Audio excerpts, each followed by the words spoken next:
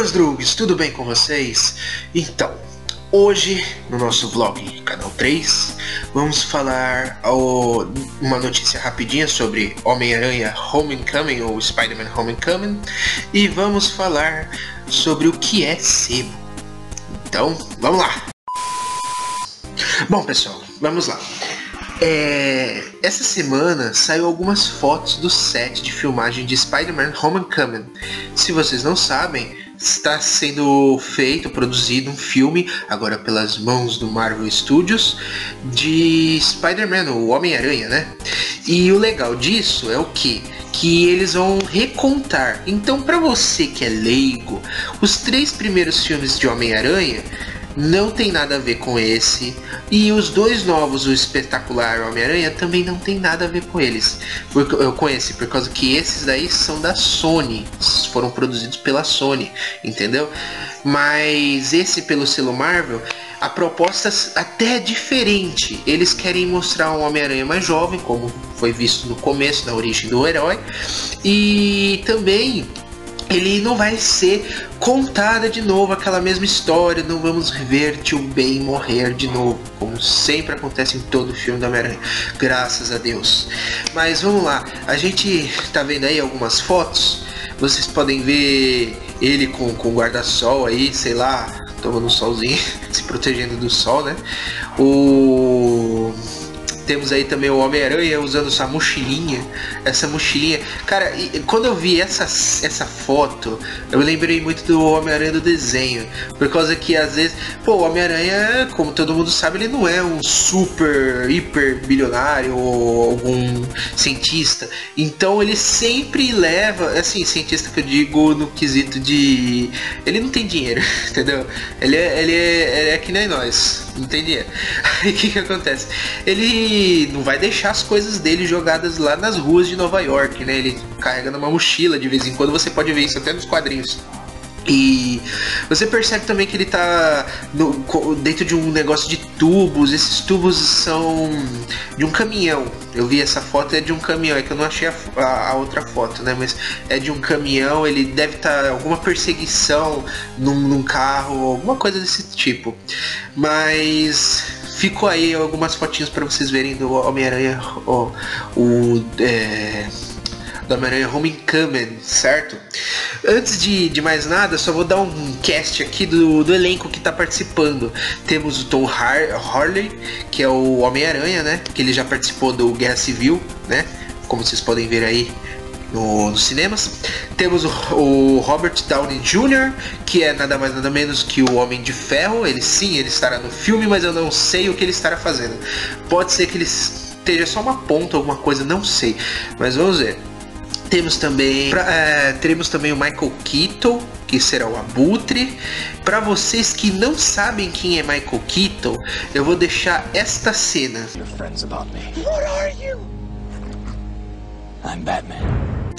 E também teremos Marisa Tomei no papel de Tia May. Caralho! Acertaram em fazer uma Tia May gostosa. Puta que pariu, cara! Os milfs vão à loucura.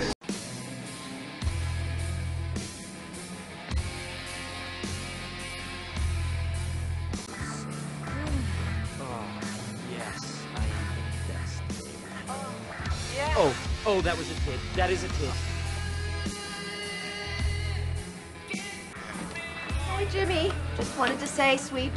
Yeah, yeah, sweet dreams. Good night. Bom, é... antes de qualquer coisa, antes de terminar esse quadro aqui do dessa notícia do, das fotos, né, dos bastidores, eu vou deixar aqui uma coisa que é bem interessante. Essa, esses filmes do Homem-Aranha, eles estão planejando fazer uma série de três ou quatro filmes e cada, e cada filme se passará num ano diferente do colégio.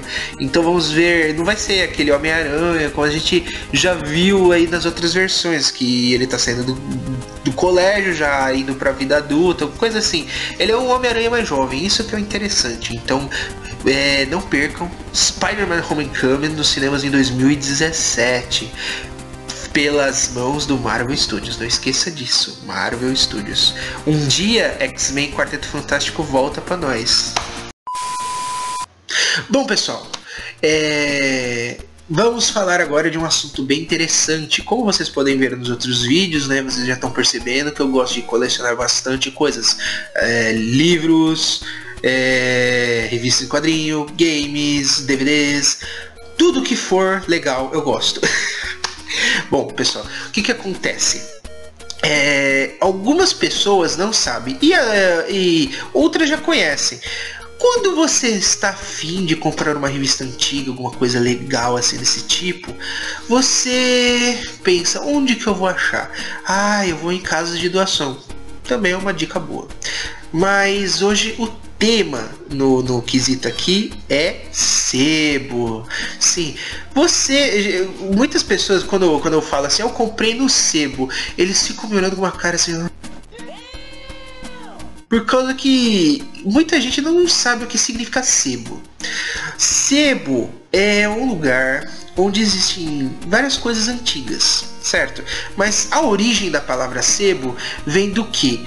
É... Quando as pessoas. Antigamente o sebo não era só de DVDs, as coisas. Era mais para livros. E o que que acontecia? Quando as pessoas antigamente não tinham energia elétrica, eles usavam velas e liam seus livros lá do lado da sua vela. E com isso, a, a, as páginas do livro, que eram brancas, começavam a ficar mais escuras, mais amarelas, mais cebosas. Então, esses livros que são antigos, usados, quando as pessoas cansavam deles, eles iam para uma loja, né, um lugar de troca para conseguir ler coisas novas, coisas diferentes. E você dava sua revista, o seu livro antigo e pegava um livro novo.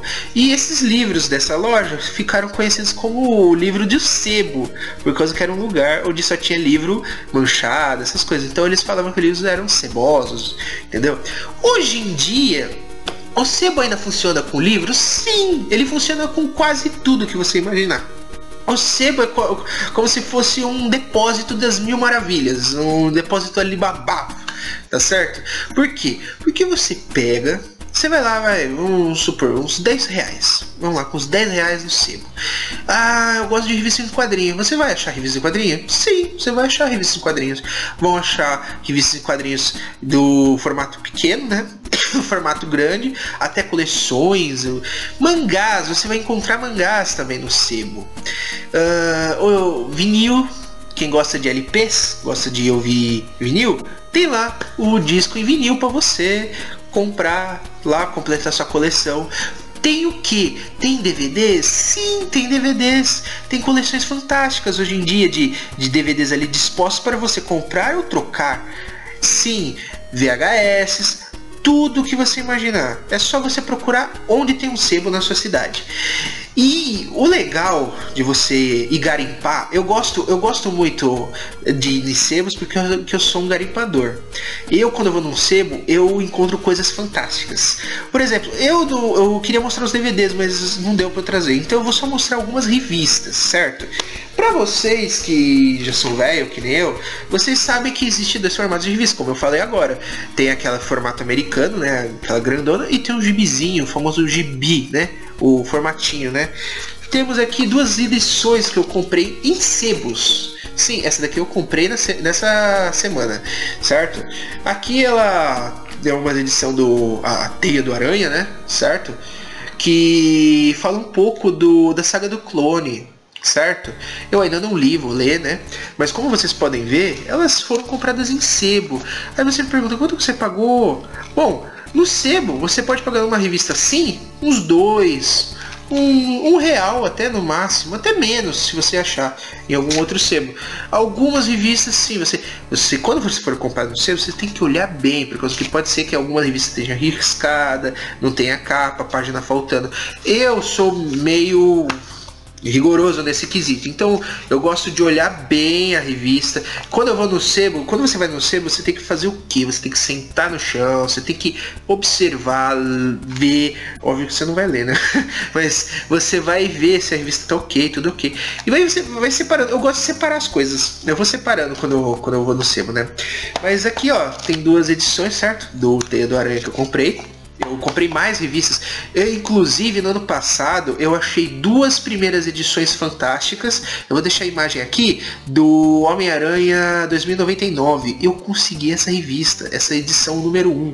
Ela toda metalizada, capa, linda, linda. E também eu consegui a capa metalizada, toda lindona do do X-Men 2099 eh, também. É uma saga já que todo mundo já conhece, tem gente que odeia, tem gente que ama, mas é uma revista legal. Pô, não é todo dia você encontra uma revista metalizada. Mas tem aqui duas edições rápidas, só para vocês entenderem mais ou menos o que é um sebo eu paguei, eu acho que foi uns dois reais nelas. Agora, coisas recentes. Você fala assim, ah, mas no sebo só tem coisa velha. Não. Às vezes você pode até achar coisas novas, como essa belezinha aqui. Quem é gamer já vai ficar com os olhinhos brilhando, porque temos aqui uma edição da Old Gamer. Sim, a revista dos gamers, dos clássicos, do Retro Gamers, certo? Eu gosto muito de jogos antigos. Para falar a verdade, é... eu comecei jogando jogo antigo. Eu ganhei um Atari do meu pai. Depois depois de muito tempo consegui o Nintendo 64, que foi na época do 64. Isso foi em 98 que eu consegui, foi minha mãe que me deu. E sério, cara, foi fantástico, foi fantástico, cara. Eu vivi uma época boa. E até mesmo quando era a nova geração, já um Xbox, PlayStation 2, GameCube, eu tinha o Nintendo 64 e o Super Nintendo. Eu jogava mais jogo antigo do que jogar jogo novo. Então, alguns dos jogos que, que hoje falam jogos retro, jogos antigos, são jogos que eu joguei na época. E eu ainda costumo jogar muito esse jogo, certo? Bom, voltando ao assunto, nós temos aqui uma edição da Old Gamer. Para quem não conhece, a revista ela é o número 29, certo? Ela está falando dos jogos de luta, ok? E ela, ela, numa banca de jornal, mesmo se fosse no, é, antiga, mas vendida numa banca de jornal agora, ela custaria 12,50. Aqui, ó, não sei se vocês conseguem ver, ó. 12,50. Ah, meu Deus, tá caro. Quanto que você pagou isso aqui num sebo? Porque isso aqui é novo, né? Sabe quanto é que eu paguei? Chuta aí, meu. Chuta. Adivinha? Eu paguei 2,50 numa Old Gamer. Sim, é de cair o cu. Eu paguei 2,50 numa Old Gamer, cara. E a edição, ela não tem nem nada ruim assim, tá lindinha. Ah, você pagou, mas você não ganhou o pôster. Serve isso aqui? Serve... Opa, serve isso aqui para vocês? Aqui, ó, ó, com o pôster, ela tá intacta. Sério, algumas vezes você não acha o pôster, né? Mas o legal foi que eu achei com o pôster, cara. Eu paguei 2,50 uma revista de 12,50. Tá entendendo o que eu tô querendo dizer? Entendeu? Então, pessoal, quando vocês forem andar aí no centro das suas cidades ou perto da sua casa, fiquem de olho. Se vocês ouvirem a palavra sebo, Vá no Sebo, porque tem coisas fantásticas e incríveis.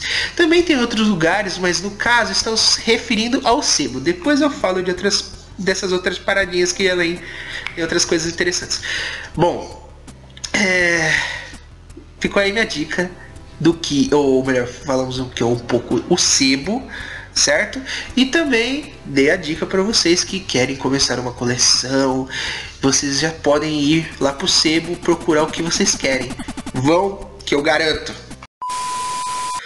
Bom pessoal, chegamos mais ao fim de um vlog canal 3. Sim, esse, essa edição foi bem rápida, bem mais simples, por causa que essa semana não teve muita assim, coisa, eu tive que fazer muita coisa correndo. Até eu não tô na, na casa da minha mulher, eu tô na casa da minha mãe gravando isso aqui, tá? E ainda vou ter o trabalho de editar. Se demorou um pouco o vídeo para sair, vocês estão entendendo o que tá acontecendo, que hoje eu tive que vir pra cá, tá certo?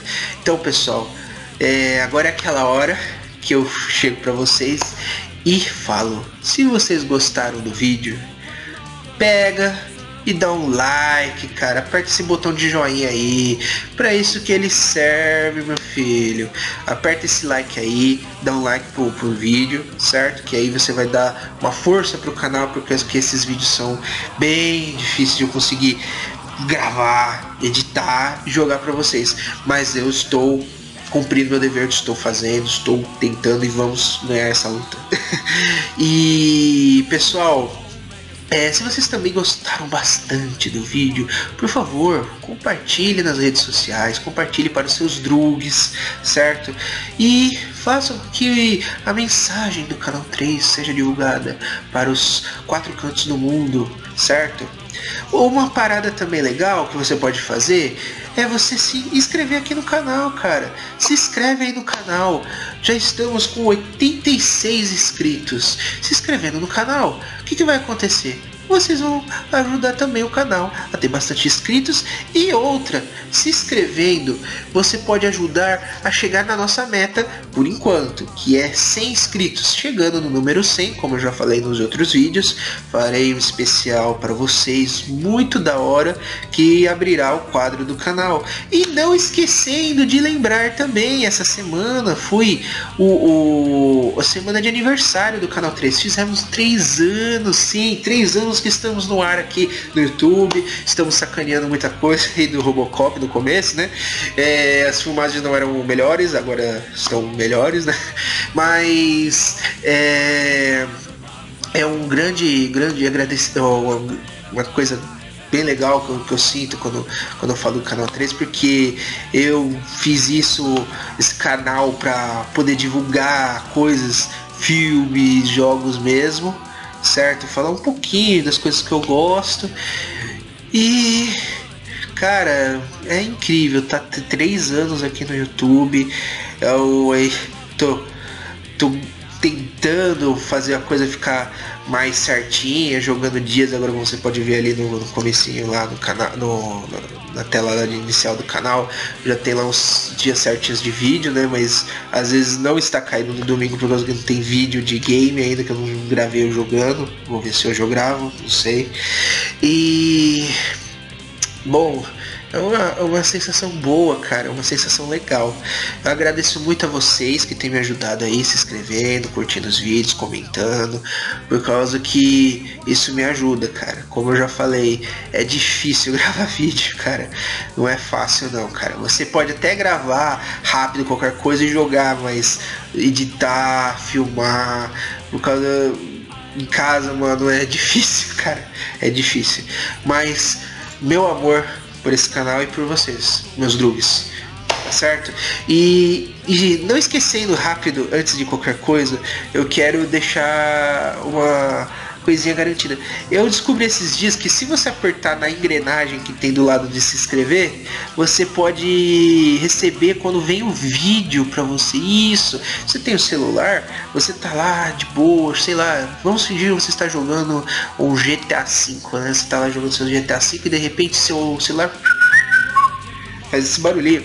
Aí você pega e você olha e tá lá marcado que, ah, olha, o canal 3 ele adicionou um vídeo agora. Ou se não até os outros canais no YouTube, você pode fazer isso, sim. Você coloca lá e vai mandar uma mensagem para você quando tiver vídeo novo. Então, se vocês querem ficar mais atualizados quando sair vídeo no canal 3, então vocês entram nessa engrenagem e marquem para receberem as mensagens quando tiver vídeo novo no canal 3, certo? Então, fica aqui meu grande abraço para vocês e até a próxima.